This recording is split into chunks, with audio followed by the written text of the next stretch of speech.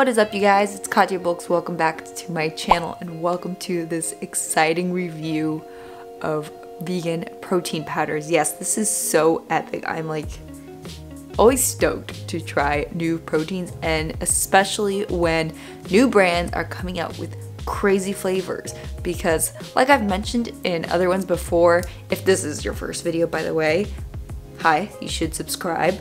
But yeah, vegan proteins, you know, just started out with the normal chocolate and vanilla and some brands out there still only have chocolate and vanilla so I'm always excited when other brands either come out with just vegan proteins and then want to improvise and come out with wild flavors or brands that have both whey and vegan want to make it an even playing field and come out with wild flavors. So thank you to this lovely subscriber that did shout out this company to me so I was able to go online and get I had to get one tub of their protein and then the rest I was able to get sample sizes because they had so many flavors in their vegan protein powders and flavors that I haven't seen before. But yeah, I thought Liv Body was the only one who had like the wild flavors, but not anymore because today we've got Steel. So I actually hadn't heard of this one before, so I'm super stoked. I got them all on Amazon, otherwise I'm sure you could probably find them on their website. But look at this hot cocoa. I'm like, oh my gosh, so stoked to try it. Like, I will say that the Sunwarrior chocolate protein powder tastes just like hot cocoa as well if you warm it up with some almond milk. It's just one of my favorite things during Christmas times to have that one. But we're gonna see if this one tastes like hot chocolate as well because I feel like plain chocolate protein powders just taste like chocolate versus hot chocolate and they don't all taste the same when you warm them up to make a protein hot chocolate. So yeah, so we've got that flavor, but hold on, we've got more. We've got a vanilla cream pie. So I wonder if that's any different from like normal, van normal vanilla. We've got strawberry cheesecake, which sounds amazing. Milk chocolate, snickerdoodle. I've seen snickerdoodle before, but I always excited to try a new one. And two very exciting flavors. We've got peanut butter, and I do love the color, how it's just like Jiffy peanut butter. Pretty, pretty on point. And, ooh, peanut butter and jelly. I don't know when to anticipate for this. Like, that sounds weird because you wouldn't think of like maybe mixing peanut butter with jelly. I mean, other than just in a sandwich. So, I'm so excited to try all of these. I think I'm going to save though the hot cocoa for last since it is in the tub and I want to go through the samples. I'm not going to go through them all in one sitting so I'm going to split this video up in just like a few days or in a few sessions just so I don't overwhelm my stomach with too much protein powder. So we're definitely going to try one of them but let me just take a look at the macros real quick. Okay, so just confirmed real quick, they all have the same macronutrients and for like the one serving about 30 grams is 110 calories, one fat, two carbs, and 20 protein. And then it shows you your breakdown of your amino profile. I didn't mention it before, but someone did point it out with my Vivo Life, how I mentioned that they didn't show their amino profile, is why I find it pertinent to put that on, you know, a vegan protein powder is because you can claim there to be a full amino profile, but it can have like one gram of glutamine, you know, and really not make an impact on your body. So the fact that they put all the milligrams and the grams of all the essentials and non-essential amino acids I prefer because then it helps you make sure that you're getting all the aminos you need because sure there's some that are non-essential meaning your body produces it but obviously if you're exerting yourself in exercise and daily activity you do need to replenish those as well. So that is why I like to see that on protein powders. But anyways moving on. So I think I'm gonna start with the classics. We're gonna do vanilla cream pie. So I'm gonna go get a mixer cup or something with some water and we're gonna mix it up. All right, so I got the vanilla cream pie and that mixed seamlessly and smelled really good when I opened up the packet. So, mmm, smells nice. Let's see how it tastes.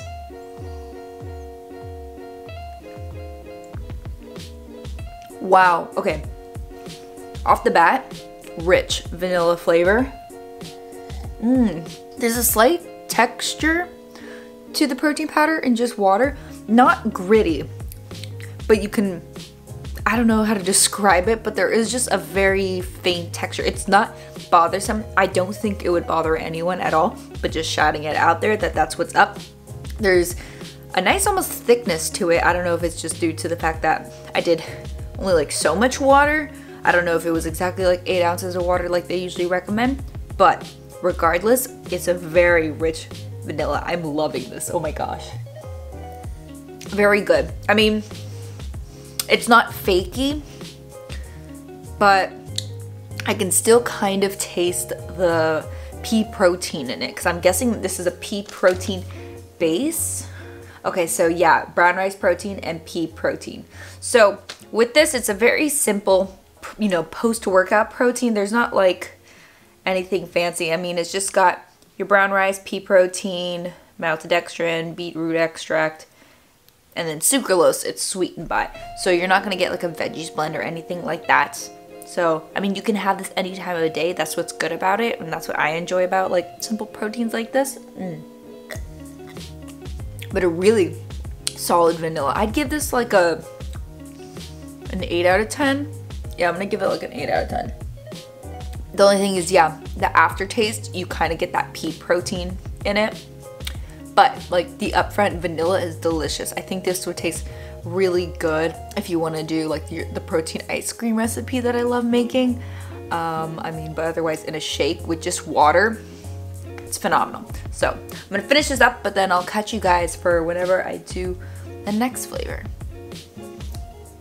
All right, next flavor to try is the milk chocolate. Okay, so interestingly enough, like when I opened up the packet, like it smelled kind of like hot chocolate. So I don't know what to anticipate for the hot chocolate flavor, but then again, that was just the smell, not the taste. So really nice and dark and chocolatey color. Holy cannoli. It reminds me of Ovaltine, just like the smell and the look of it. So I'm excited for this.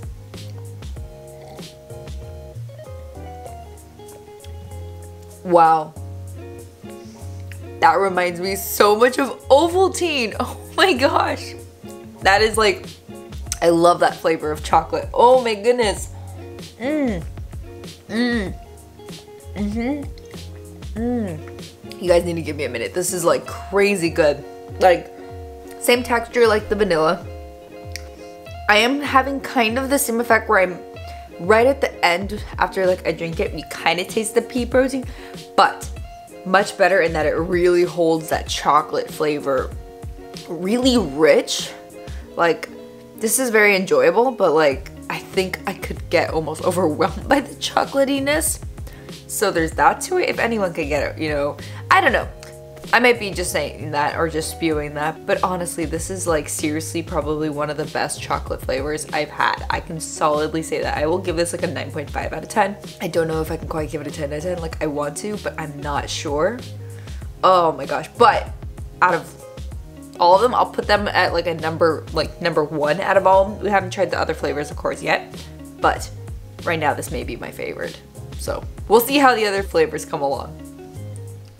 Alright guys, so we're on to strawberry cheesecake. Pretty excited to try this and let me tell you, when I opened up that packet to mix it in the water, it smelled so nice and sweet. So pretty excited about this one. Oh yeah, that smells good. Wow. Wow. Mmm. I mean, it's hard to say that it tastes exactly like strawberry cheesecake, but I taste strawberry. It is more so that false strawberry, so it's quite sweet, but I personally like that. If you don't want a more fakey strawberry taste, then you might not like it, but I think it tastes really good. And again, alone with water, tastes amazing. This one, not as much that I get that pea protein aftertaste, which is really nice and enjoyable. And again, a nice rich consistency like the other two proteins, so I enjoy that as well. Really good. I'll give this one 8.5 out of 10. Yeah. Okay. Mm. All right, guys, so next we are trying the snickerdoodle. I got it right here, and oddly enough, it's just as pink as the strawberry cheesecake, which was pretty delish. So I'm excited to try this because this smelled very good as well, mixed just perfectly. So let's give this one a taste test. Mmm, oh yeah, that smells nice. But it's so odd that it's kind of pink. Like, did they actually put the strawberry cheesecake in here? Mm, we'll find out. Mmm off the bat, like, you just get that nice sweet cinnamon flavor. Like, you would have called this like cinnamon roll and it would have passed as that as well, but like, mm, it's not, hmm, I don't know how to describe it.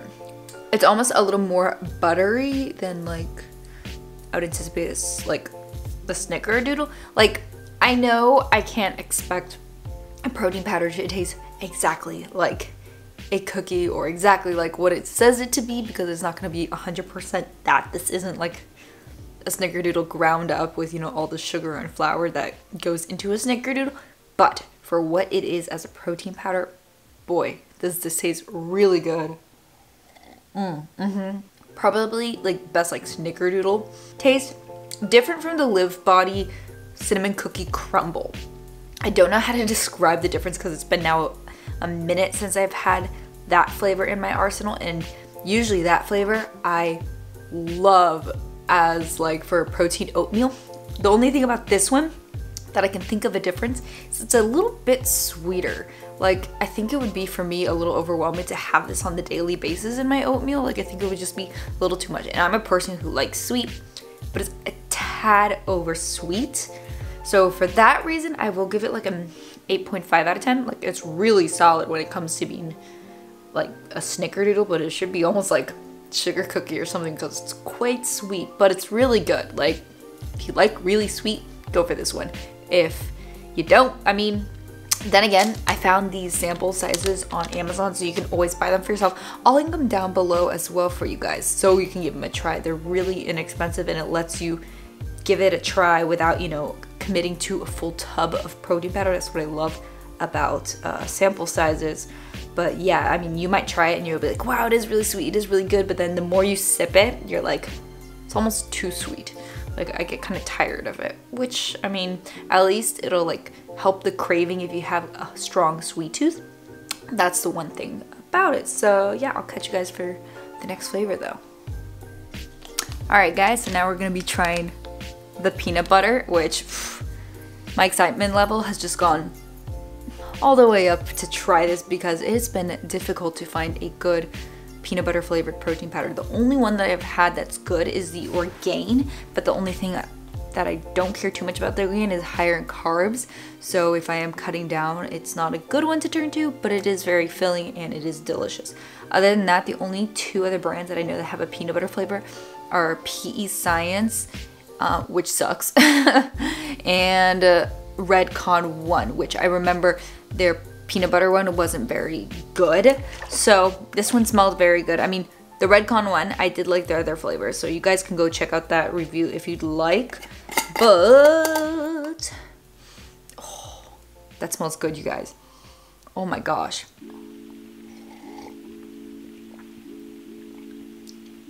Yep, okay, they nailed it on this one.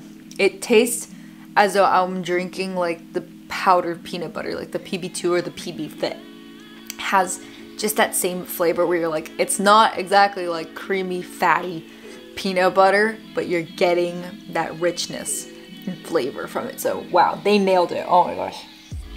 Mm. Wow. Nope. Yep. Yep. Oh, this one is perfect.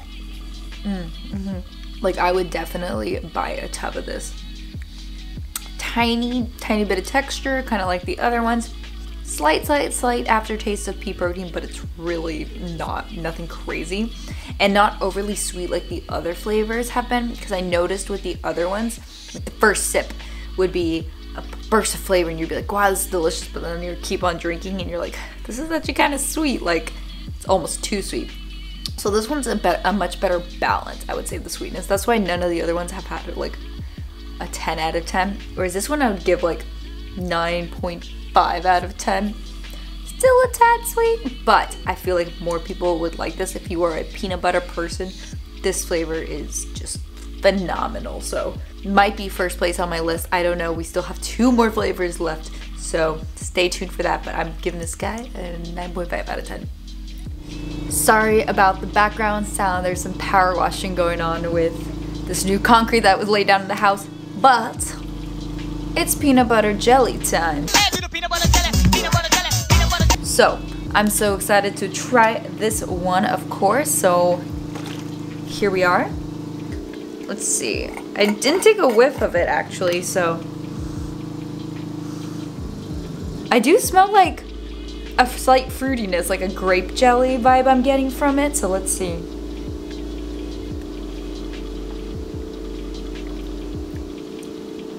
Whoa.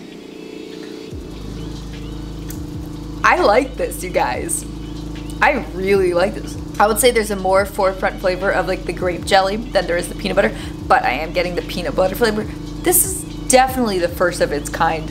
Usually companies will either have like a peanut butter or a, chocolate peanut butter, but never have I seen peanut butter and jelly. Not even a whey protein. Unless there is one out there that I don't know of and you guys know of, like let me know in the comment section below. But otherwise, holy crap. Mmm. That's crazy good it's amazing. They really accomplished the ability to combine the two flavors, but you in a way taste them separately. Like you could taste the peanut butter and the jelly. So it's just like enjoying a sandwich. This is so good. Oh my gosh. Mmm. Wow. Oh my gosh. Yes. I will I I possibly would buy this again. Now, for my chocolate peanut butter lovers out there, Liv Body. That one is by far the best one I've had thus far. But if you want something even crazier like peanut butter jelly, I found this guy on Amazon. So again, like I mentioned, it'll be in like the description box below if you guys want to go buy this from Amazon or their website as well. Um, that's just where I found also the sample sizes if you want to give them a try too. Mm. Mm. Phenomenal. Oh my gosh. Wow. Again, 9.5 out of 10. That's pretty freaking good. All right, so we have one more flavor after this one and then we've tried them all. So I'll catch you guys for that one.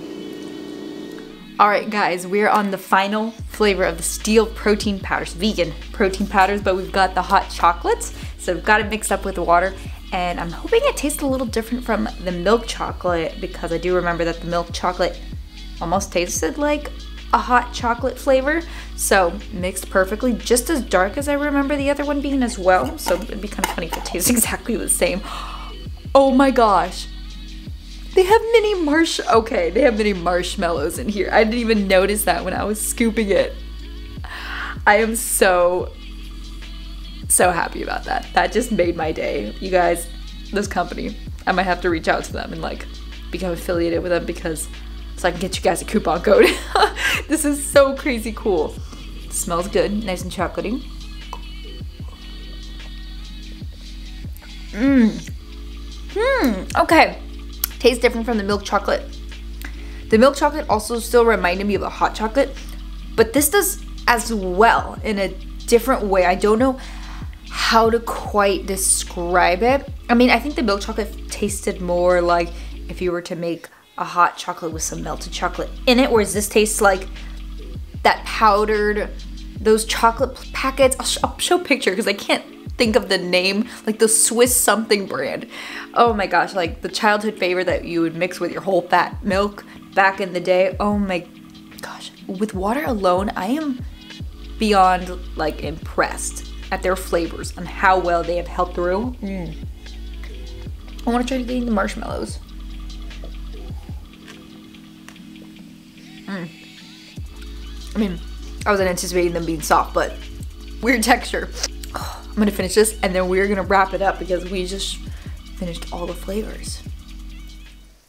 All right, so we finished them all. And I forgot to say, I think I would rate this like an 8.5, 8.75 out of 10. Absolutely solid. Really, really good, but I think I would go more so for the milk chocolate. So, I don't know, because now I can't remember what score I gave them. I wrote them down here, but just to recap, so we had vanilla cream pie, which I gave an 8 out of 10.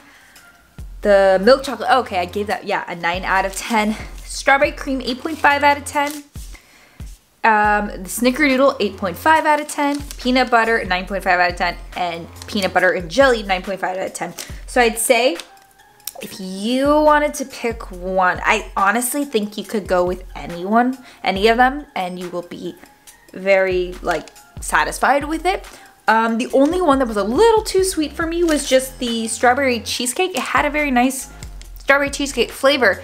It was just like after the first sip, it was a little too sweet. I think I would though like it in like morning oats or something. So, but yeah, I mean, hopefully maybe by the time this video goes up, I can see if I can reach out to them and get a coupon code for you guys. If I do, I will have it up on the screen somewhere for you to use. But otherwise, I did get them on Amazon. So again, I'll link that below. But I'm crossing my fingers because even I would like a better deal. I mean, I think this tub was like maybe almost 40 bucks. I can't remember. And it's only got 25 servings. So it costs a little more. And you don't get your fruits and veg blend. But I mean, for just being a simple protein, I think that's how they were able to compensate and give it a much better flavor. They are phenomenal. If you want like a solid protein with a fruits and veg blend, go with the Liv Body because they're wild flavors. You guys know I love them and I love using their protein in recipes. But like for just a protein powder post workout, just need to get those essential aminos into your system. Steel is the deal. Okay, that was way too cheesy and cringy. Don't judge me. But anyways, this brand is freaking phenomenal. So if you've enjoyed this, go give them a try. Give this video a thumbs up if you haven't already. And if you haven't, please subscribe and let me know what supplements you want me to try out next. I think I have a recipe for you guys next. Otherwise, yeah. Um, let me know if I've missed a company that I haven't reviewed yet or a company has come out with a new flavor that I need to try. So yeah, I love you all and I'll see you in the next video. Bye.